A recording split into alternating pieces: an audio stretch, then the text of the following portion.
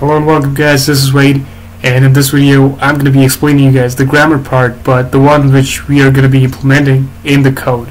So first of all I'm just going to be like, I'm, I'm going to show you what we've made before just to get you guys freshened up. So let's say you enter a string, right? It's going to say you entered a string. You enter a number. It's going to say you entered a number and if you enter something else it's just going to say other input. Now the thing about this is that when you make something like this, you got to have a grammar defined for it. So, and these are the tokens which we did before. I have explained them in the previous video. So, these are the tokens which we need. So, there's a string, there's a number, other, and semicolon. And I'm to be explaining you guys why the semicolon is important. So, let's start. So, let's say you entered a string, right? So, it's to go ahead and say that's a string. So, what exactly is this? It's a string, right? It's a string but there's a semicolon so it's a string. And a semicolon it's two tokens. That's pretty awesome. Let's go forward. You entered 85 so an 85 is of course a number and a semicolon. That's good. And uh, there's gonna be this right? That's other and it's a semicolon. So that's pretty much it. Now the thing about this is you, you gotta find a pattern in this thing. You gotta find like the pattern which you could use to tell the compiler that you know what these are the kind of inputs you're going to get. So if you just go ahead and say, you know what, computer, there's going to be three of these. There's going to be three kinds of inputs, and these are the kind of inputs that are going to be in the program, right?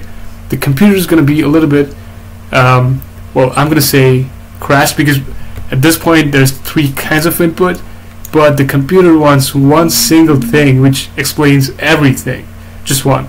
So what you do is like you make another smart move here and you can say, you know what, statement. Statement's another token I'm going to make. And what are these? Well, they're just basically statements, right? And in this case, I'm going to call these three out because let's look at it. The pattern is there's something, then there's a semicolon, something, semicolon, and the same thing here. So what you're going to do is just you can you can like make these things vanish. Let's do that. So basically a statement could be a string or a number or it could be other. So basically a statement could be a string number or other. So you can just go ahead and oh, oops that's bad. You can just go ahead and replace it and booyah that works. That's pretty awesome right? You can just now go ahead and tell the uh, computer. You know what computer? The kinds of input you're going to be expecting are going to be a statement and a semicolon. So you can you can go ahead and say Wade and uh, semicolon at the end, and the computer's gonna be like, wait, is that a statement? It's gonna go in statements and check. It's a string, and is it a string? Yep, that's good. It's gonna do the same thing for this. It's gonna check, hey, let's see if it's a statement. It's gonna go in statement. Is it a string? Nah. Is it a number? Yep.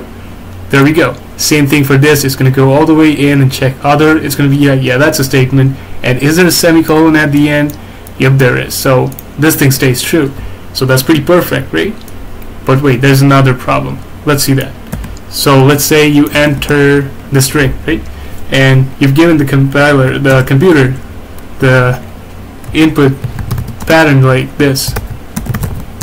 So it's going to go ahead and check uh, the, the statement. That's a string? Yeah, that's perfect. Is there a semicolon? Oh, there is one. That's awesome. But wait, it, it's gonna get it's, it's gonna stop there because let's look at it. Is there anything ahead of this? No there's not. So the computer is now gonna look for a statement and a semicolon and it's gonna stop. So even if you enter like anything here it's not gonna check it because it's gonna be like you know what? That's the only thing I was gonna be uh, checking for and that is here. That's I'm done. I'm not gonna go forward. So we gotta do another smart move and say you know what I'm essentially going to be putting a lot of statements here. So let's say, yep, that's one. Yep, that's a lot of garbage, by the way. So you know what? That's a lot of statements, and the, the input's going to be like this. But we do not know. We have no clue how many these are going to be. But the only thing we do know is not. It's like that. It's not. It's going to be one or many and that's that's it. Like that's the only thing we know that's it's going to be like a lot of them one of them two of them we don't know. So we're going to make one more smart move and we're going to let me get the symbol yep. What you're going to do is you're going to make one more token and you're going to say you know what? I'm gonna have a lot of statements.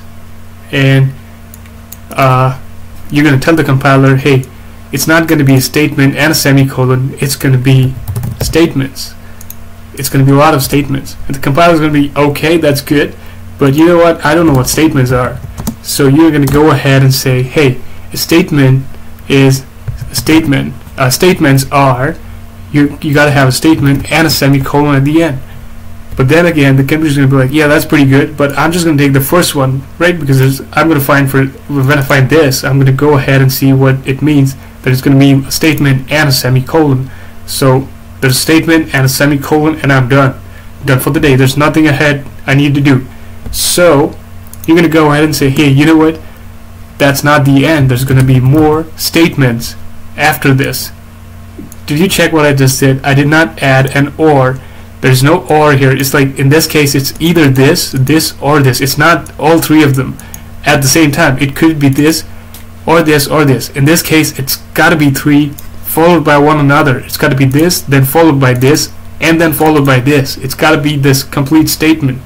So in this case, the computer's going to be like, hey, that's good, because now I can go, uh, when I see this statements, I'm going to go inside, I'm going to see if there's a statement involved. There is one. Is there a semicolon? There's one as well and it says statement so I'm just going to go ahead and check if what statements mean and then again there's going to be a statement semicolon and statements means there's going to be another statement semicolon statement semicolon and it's going to go all the way down here and it's going to go crazy because it's going to be like hey you told me there's going to be statement statements here but there's nothing here. It's, it's ending. You, you told me there's going to be some sort of statements and hey there's nothing here. I cannot go forward. But you do one more smart move. You're going to say hey you know what? Statements can be a statement followed by a semicolon or, and followed by another series of statements or it could just be empty. This right here, it means empty. It's like nothing there. It could be empty. And that's important. That's a super important step because this thing is called, uh, if you guys are learning any kinds of um, programming classes like computer science classes, there's going to be something called epsilon yeah, that's what they're talking about. Those professors, those not, those are not crazy. They're talking about this. So in this case, it's going to be empty, and now you can do that stuff because when it goes all the way down here, it's going to check for statement, a semicolon at the end, both of that, and it's going to check if there's a statements again. And what is a statements thing? So a statements means that it's either going to be empty or this. And is it empty? Yep, it is. That means you're now completely done with the grammar.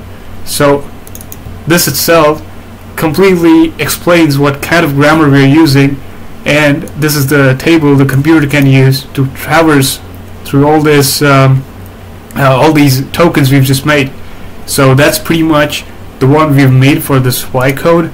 And as you can see so when the program starts this is the first one by the way and the Bison code wants this to be in the beginning and it just the first one out here you can name it anything but when it's the first one it knows that's the uh, that's the one it should follow and it's a common practice to name it prog because that's how the, prog, the program runs so in this case I'm just gonna say you know what there's gonna be like a lot of statements inside and then it goes down it says okay the statements are either empty or it could be a statement followed by a semicolon and then followed by another set or series of statements Following that, I'm going to explain what statement are, just the way I did in this. I've explained how a statement could be this, this, or this. And the same thing is going to happen pretty much here. So if it's a string, if it's a number or it's another one. Now if it's a string, you can just say, hey, you entered a string. And it's going to go ahead and print the string. Oh, there's an error here. Let me change it. Yep, so it's going to go ahead and print the string. Same thing is going to happen here. It's going to say, hey, the number you entered is this and it's going to print the number uh, as an integer for other we're not doing anything here because if you do remember we had a code down there so if it's other which is a wildcard dot it's going to send uh, and uh, it's going to call this function show error and show error is going to like print this other input so that's pretty much for the program and now the important part here is the bison code uh, things. So let's let's check what's important. So if you look at this, there's an S, and that that means it's got to be a string, right? But there's this fancy looking thing here. So what is it? Well, basically, we are printing this. This is a token, and it is considered as a data type. And you can this is like the bottom, the most the the, the token at the most bottom level. So it's gonna have some sort of type. So when it's got a type, you can just print it. And this dollar one represents the number or the uh, the the rank at which this is. So let's say there's going to be another number here, another string. So this this is not exactly how it, the program works, but let's let's just say for the sake of explaining you guys, there's going to be one thing, one statement which is going to have like a number, string, string number, whatever that is. So in this case, this is dollar one, this dollar two, and this dollar three. So if I want to print the number, I'm just going to say dollar two, and if I want to, let's say there's going to be A, B, C, D, whatever. So I want to print D, so that's going to be 1, 2, 3, 4, 5, 6. So this, wait, is that right? Yep, that's right. So D is the sixth one, right? So I'm just going to say dollar six, and whatever type this D has, that's going to be printed. Now about the types. So if you guys do remember what I made before, so in this case I gave types to these uh, tokens. So a string type is essentially a name, and a name is a character buffer. So in this case, we know that this, uh, let me change it to 1 again. So it's a string, right? And a string is basically just a name, and a name is a character buffer. So we're going to print it as a character buffer. And the number, of course, is a number which is an integer. So when we print it, we're going to print it as an integer, as percent d or percent i, whatever you use.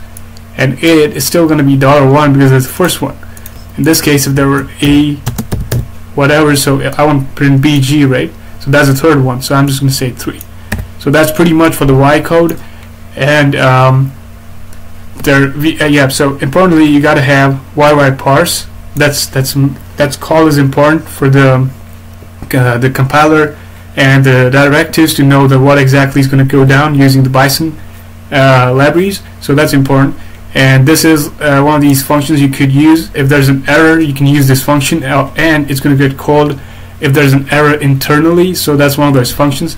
So that's pretty much for the bison code and the grammar part. Uh, yeah I think we're done with this video. So if you guys have like any question or stuff regarding this video or the ones before you can just drop them down in the comments. And rest assured all the and the entire code I've used it's on github. It's completely good. You can just go ahead and download it or even better would be just if you go and fork it on your account so you can use it from there. Or you could just start it so you can use it for later on. So github's pretty awesome place. Go there check out the code. And um, yep that's pretty much it. So if you got like questions and stuff drop them down in the comments. And thanks for watching